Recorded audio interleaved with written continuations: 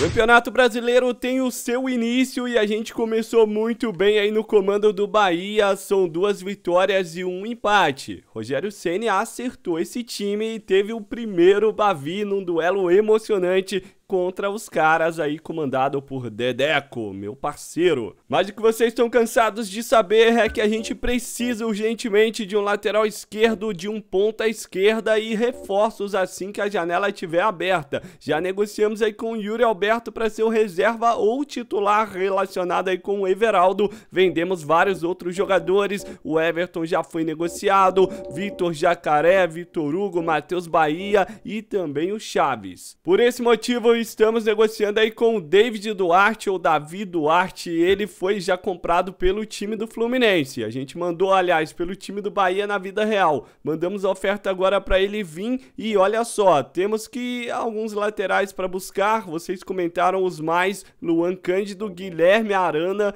e também o Marcelo. Eu gostaria de ter a experiência aí do Marcelo, né, cara? Ele pode vir resolver a parada aí pra gente nessa lateral. Tem um cara experiente, o Fluminense fez isso com com vários jogadores e ganhou a Libertadores do ano passado. Felipe Melo, Marcelo mesmo, Cano, vários outros exemplos. Vamos mandar ali uma oferta, o salário dele vai ter que ser alto, mas no futuro a gente reduz. Vou mandar 9,700. E cara, já paguei a multa de 8 milhões, vamos dar um pouco de bônus, cláusula de não sofrer gols. Agora olhando na ponta esquerda, os mais comentados por vocês é o Michael que tá no Al Hilal do Neymar e também o Bruno Henrique pela idade e pela concorrência que tá tendo lá no Flamengo, né? Tem um Cebolinha, Luiz Araújo, tá tendo muitos jogadores mais novos e talvez o BH não vai ser titular nessa temporada. Pode ser uma boa. Vamos até iniciar uma negociação com ele. Salário também tá pesando, mas a gente paga a multa de 12 mil. Vamos dar uma duração de contrato aí de dois anos e meter 10 de salário. Será que o cara vai topar, mano? Deixar esse bônus também. Michael não vale muito a pena tentar porque ele também tá lá no futebol árabe e os caras têm muita grana para segurar ele. Agora o que a galera tá ligado também que há uns dias atrás teve esse rumor, né? Rumor não, Bahia realmente assumiu que tava tentando o, Gabi, o Gabigol, mas essa notícia com o tempo foi resumida ao Flamengo não ter aceito, não quis vender. Bora dar sequência, vamos pegar o Bragantino, tem o Cruzeiro, tem o Vasco e se pá a gente encara até o Flamengo. Detalhes que muitas pessoas estão esquecendo, estão resumindo aí algumas contratações dizendo que são irreais, vocês esqueceram que o Bahia agora faz parte do grupo City. O Bahia tem grana e sim, mano, eles podem trazer grandes jogadores do futebol brasileiro, como foi o caso do próprio Everton Ribeiro. Calma o Everton Ribeiro eu tenho cansados, tem o Juba, o Biel, cara, vou ter que mexer no time, hein? Deixar o Biel ali no banco, começa com o Ademir, botar o Everton no lugar do Everaldo, deixar o Caule descansar e eu começo aí com o Tassiano, velho.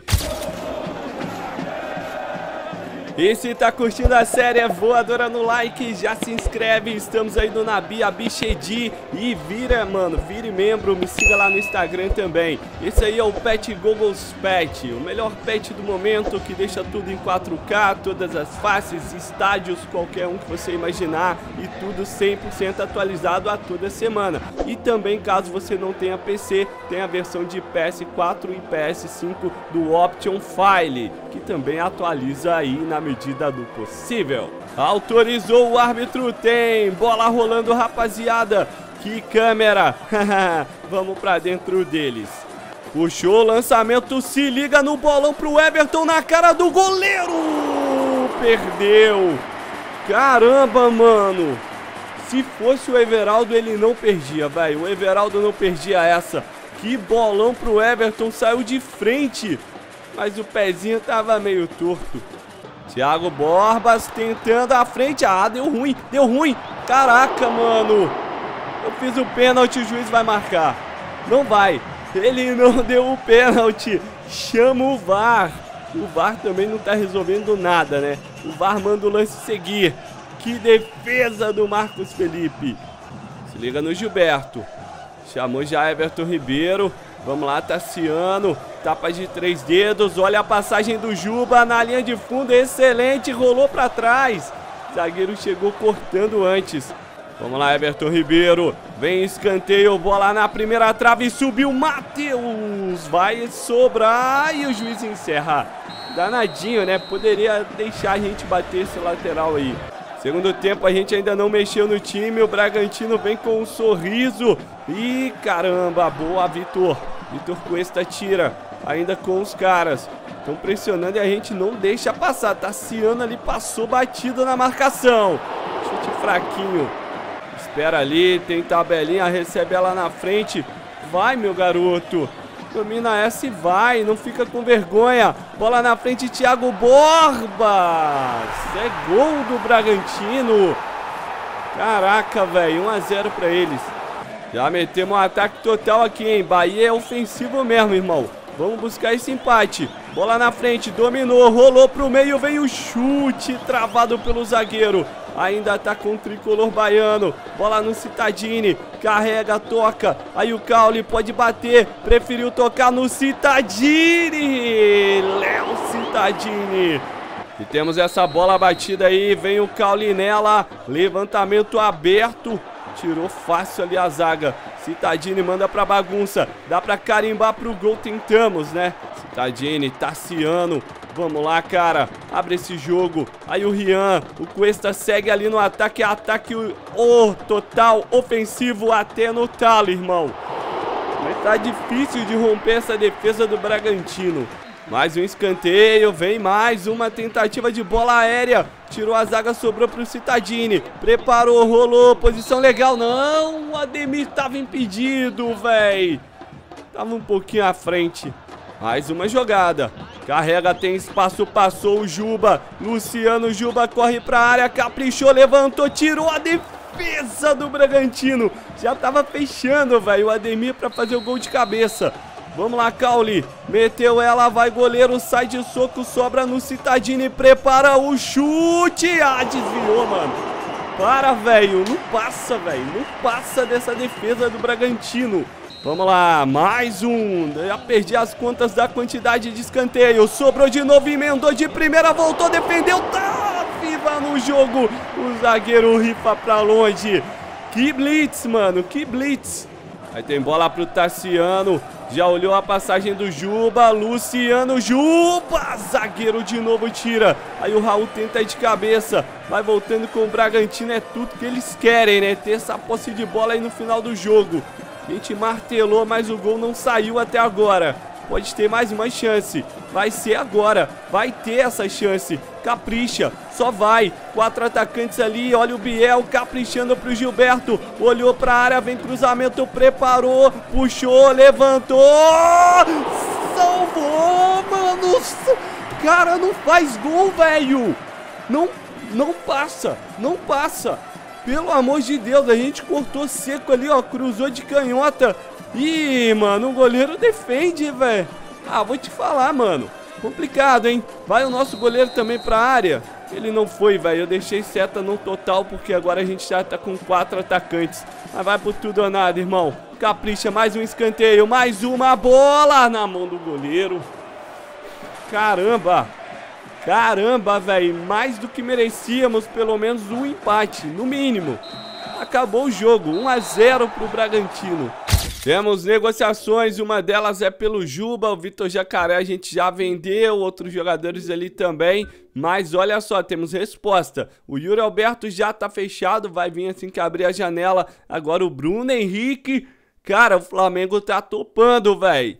O salário dele que tá puxado, né? 11 milhões. Cara, quase um milhão por mês, né? Salário anual ali do Bruno Henrique. Jean Lucas também tá fechado. Oferta aí do Marcelo. É, cara, o Marcelo tá querendo um aumento salarial chegando a 10,600. Cara, ele ou BH vai ter que ser um dos dois. De momento, os dois de uma vez eu acho que é meio arriscado, né? Tá meio cabuloso. Vamos meter o Marcelo, mano. Deixa o BH aí na próxima ou de repente a gente busca outro cara. Fechamos com o Marcelo, ainda sobrou 37 milhões de salário e 70 de transferência. E o David Duarte na vida real veio, mas no videogame ele recusou. E aqui estamos na Fonte Nova, agora com a escalação voltando a ser 100% titular. Vamos encarar o time do Cruzeiro. Cruzeiro chega, olha o Bilu! Primeira chance é deles. Lançamento pro Juba, a bola é de contra-ataque, vamos caprichar. Inverteu no Everaldo, tocou aí pro Biel, protegeu, fez o giro, ameaçou, tentou, rolou pro Gilberto, no contrapé do Gilberto. Tranquilo pro Everaldo, aí o Juba tem passando livre, leve e solto é o Rian Carlos.